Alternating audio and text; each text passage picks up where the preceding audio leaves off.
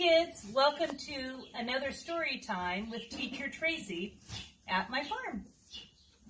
Today I'm going to read another one of my favorite books called The Big Red Barn by Margaret Wise Brown. Helping today, yet again, is my pony, Mr. Sullivan. By the Big Red Barn in the Great Green Field, there was a pink pig who was learning to squeal. There was a great big horse and a very little horse. And on every barn is a weather vane, of course, of a golden flying horse. There was a big pile of hay and a little pile of hay and that's where the children like to play. But in this story, the children are away. Only the animals are here today.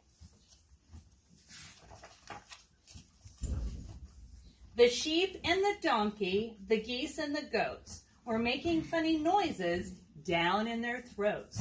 An old scarecrow was learning on his hoe, and a field mouse was born. In a field of corn.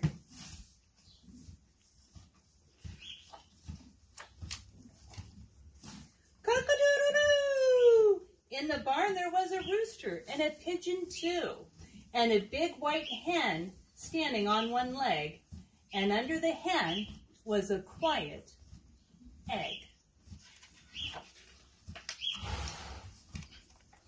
There was a bantam rooster and a little bantam hen with a big clutch of eggs.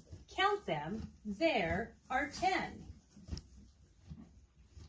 Cock-a-doodle-doo! Moo!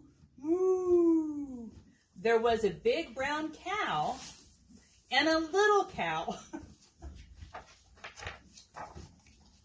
there was an old black cat meow, meow, and a tiger tomcat. Meow, meow. There was a big red dog, bow wow, with some little puppy dogs, all round and warm. And they all lived together in a big red barn. And they played all day in the grass and in the hay.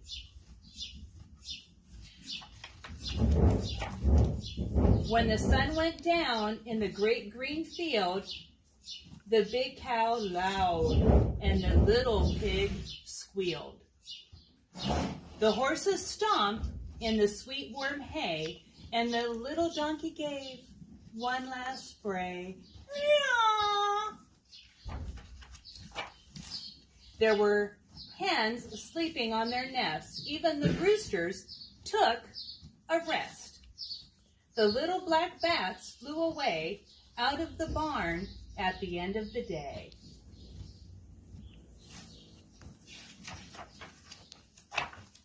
And they were all there all night long, sound asleep.